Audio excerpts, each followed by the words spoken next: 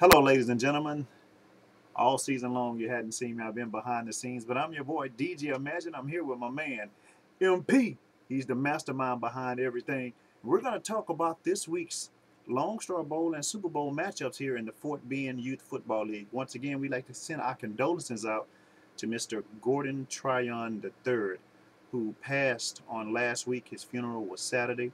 Uh, to the Southwest Steer family and to the Tryon family, we uh, send our regrets.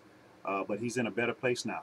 And uh, we just want to tell Mr. Tryon and his family that we love him. And Sunday, during the Steers uh, Super Bowl game, we will be doing a moment of silence as we have done all weekend long.